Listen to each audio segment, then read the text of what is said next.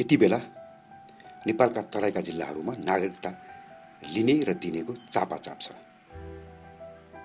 अहिले नागरिकता प्राप्तिका लागि आधी बेरिसरी मानिसहरू तराईका जिल्लाहरूका जिल्ला प्रशासन कार्यालयमा ओहिरिएका छन्। गृह मन्त्रालयको परिपत्र र सर्वोच्च अदालतले त्यसमा सदर गरिदिएपछि अहिले तराईका प्रमुख सहरहरूमा नागरिकता लिनेको यति भिड छ कि यस्तो दृश्य सायद कतै देखिएला त्यो भिड जताबाट सृजित भएको छ त्यो अर्को आश्चर्यको विषय छ। नेपाल भारत सीमा गेटदेखि जिल्ला प्रशासन कार्यालयसम्म नागरिकता लिनेहरूको लाइन देखिन्छ। कस्तो अचम्म भने नेपाली नागरिकता लिन आउनेहरू अधिकांश नेपाली बोल्न सक्दैन र लेख्न पनि सक्दैन प्रशासन अगाडिका फोटोकपी पसलहरूमा फोटो खिचाउने र फारम भराउने व्यापार चम्बिएको छ। वीरगञ्जका एक व्यवसायी भारतीयहरूले नागरिकता लिएको टुलु टुलु हेर्नु परेको गुनासो गर्छन्। उनी भन्छन् सरकारले नै नागरिकता खुला गरिदिएपछि हामीले के गर्ने? अब एकाएक पच्चिस प्रतिशतभन्दा बढी जनसङ्ख्या बढ्ने भयो। यसबाट प्रष्ट हुन्छ कि नागरिकता नेपालीले होइन भारतीयले लिइरहेका छन्। भारतीयहरूलाई नागरिकता दिनकै लागि यो खेल भइरहेको हो भन्ने अरू प्रमाणित भएको छ। हुन त भारतीयलाई नागरिकता दिने काम यो नै पहिलो पटक भने होइन। नेपालमा बनेका हरेक सरकारले नागरिकता दिने प्रपञ्च रचेकै छन्। नेपालमा नागरिकता समस्या नभएको होइन। छ तर जसरी समस्या देखाइन्छ त्यो भने सत्य होइन। नागरिकता नपाउनेहरू तराईमा भन्दा पहाडमा बढी भएको तथ्याङ्क पटक पटक सार्वजनिक भए पनि तराईलाई केन्द्रित गरेर नागरिकता वितरण अभियान चलाइनु अर्को जनसङ्ख्या वृद्धिको प्रपञ्च मात्रै हो। भारतको दबाव र स्वार्थका कारण यस्तो काम हुँदै आएको छ। जति गरे पनि नेपालमा नागरिकता कहिले नटुङ्गिने जटिल समस्या बनाइएको छ। अहिले जसरी नागरिकता वितरण भइरहेको छ प्रकारान्तरले नेपालको स्वतन्त्रता स्वाधीनता अखण्डता र एकतामाथि नै आघात पुग्ने निश्चित छ। क्षणिक स्वार्थका लागि नागरिकता वितरणमा उदारता अपनाउँदै जाने नीति र व्यवहारले निरन्तरता पाइरहँदा नेपालमा भूमिपुत्र नेपालीहरू नै अल्पमतमा पर्ने र मुलुकको भविष्य नै समाप्त हुन सक्ने सम्मका चिन्ताजन्य प्रश्नहरू खडा भइरहेका छन् विगतदेखि। नागरिकताको सम्बन्धमा जहिले पनि कुरा उठ्दाखेरि के भनिन्छ भने लाइन लागिरहेको छ भारतीयहरूको। मान्य सभामुखज्यू।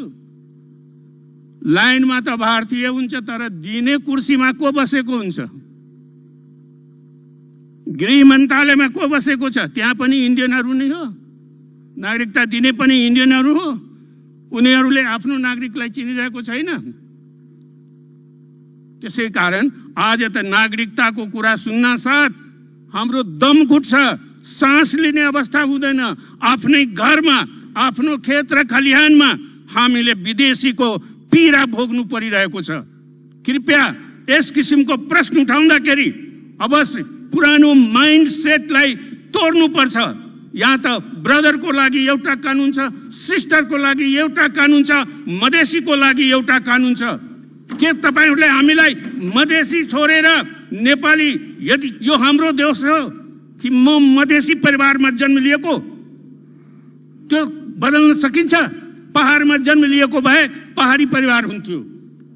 पहाडी परिवारमा जन्मिएको त सायद मेरो पनि भाग्य हुन्थ्यो नेपाली भन्ने सौभाग्य प्राप्त हुन्थ्यो। तर मधेसी परिवारमा जन्म लिएको हुँ मधेसी भन्नुहुन्छ। अनि अहिलेसम्म त्यो विभेद हटेको छैन मिटेको छैन समानताको कुरा गर्नुहुन्छ। तर के समानता छ? कहाँ छ समानता? छैन। विभेद जारी छ। अनुहार हेरेर, ड्रेस हेरेर एउटा भाषामा राष्ट्रियता हेर्ने, एउटा भाषामा चाहिँ ड्रेसमा चाहिँ राष्ट्रियता हेर्ने अनि विविधतापूर्ण देश भन्ने। अरूको भाषा, अरूको संस्कृति, अरूको ड्रेस विदेशी हो। विक्रम सम्मत दुई हजार नौमा बनेको नेपालको पहिलो नागरिकता ऐनदेखि नै सुनियोजित रूपमा जनसाङ्खिक अतिक्रमणको गति तीव्रतर बन्दै गएको सन्दर्भमा वर्तमान समयमा त्यसले थप गति लिएको छ। त्यसको सबभन्दा ठुलो मार तराईका भूमिपुत्र आदिवासी देशभक्त नागरिकहरूले खेपिरहेका छन्। तराईमा उनीहरूको अवसर क्रमशः खोसिँदै गएको छ भने षड्यन्त्रपूर्वक घुसी घुसाइएका आप्रवासीहरूले नागरिकता हत्याउँदै गएपछि राजनीतिक आर्थिक सामाजिक सांस्कृतिक हरेक क्षेत्रमा उनीहरूकै बोलवाला चल्ने क्रम बढिरहेको छ। क्षेत्रीयतावाद र विखण्डनवादका अनेक अवांछित गतिविधिहरू राष्ट्रिय एकता र अखण्डतामाथि नै प्रश्न खडा गर्ने गरी प्रक्षेपित भइरहेका छन्। पटक पटक विदेशी शक्तिको रणनीतिक स्वार्थ अनुरूपको गोप्य निर्देशन र दबावमा नागरिकता उपलब्धताका आधारहरू बदल्दै खुकुलो पार्दै जाने श्रृङ्खलाको पछिल्लो कडीका रूपमा जन्मसिद्धका आधारमा अङ्गीकृत नागरिकता लिन सफल भएकाहरू र विदेशी बाबुका सन्तानलाई पनि वंशजको नागरिकता दिन थालिएपछि रातारात नेपाली नागरिक बन्ने भारतीयहरूको लाइन दैनिक जसो देख्न सकिन्छ। झापादेखि कञ्चनपुरसम्मका तराई क्षेत्रमा अहिले नागरिकता किनबेच भइरहेको छ। रकम लिएर नागरिकता बनाइदिने गिरोह नै सक्रिय भएका समाचारहरू पनि सार्वजनिक भइरहेका छन्। नागरिकता वितरण कार्य निरन्तर प्रक्रियामा जाने भए पनि भारतीयलाई नागरिकता दिनकै लागि नेपालमा अभियान चलाइन्छ। देशमा यति गम्भीर परिस्थिति सिर्जना भइरहँदा पनि राष्ट्र र राष्ट्रियताका चर्का नारा घन्काउने राजनीतिक दलहरू पनि चुपचाप छन्। प्रमुख विपक्षी दल यस विषयमा चुसम्म गर्दैन भने क्रान्तिकारी राष्ट्रवादी भनिनेहरू पनि मौन छन् यो अर्को आश्चर्यको विषय हो। अब जनता जाग्नुको विकल्प छैन। विदेशीलाई नागरिकता दिने र लिने अहिलेको गतिविधि रोक्न जनता अग्रसर नभए भोलि आफ्नै आँगन पराई हुने दिन टाढा छैन। जनताको दुहाई दिएर जनतालाई परचक्रीको दास बनाउने यो खेल तत्काल रोकिनुपर्छ। यसो भन्दैमा नागरिकता दिनु हुँदैन भन्ने होइन तर नागरिकता त्यसले पाउँछ जो देशको नागरिक हो। नेपाली नागरिकले नागरिकताबाट वञ्चित हुनु उसको संवैधानिक अधिकारको हनन हो।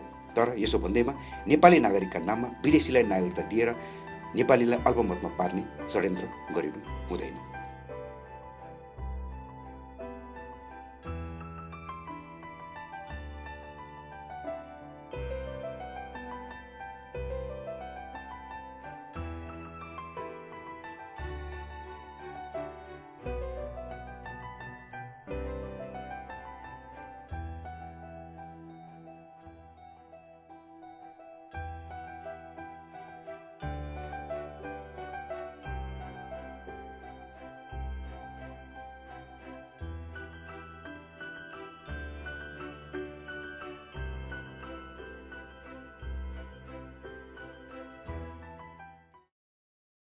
Don't forget to subscribe our channel and hit the notification bell to get notified when we upload a new video.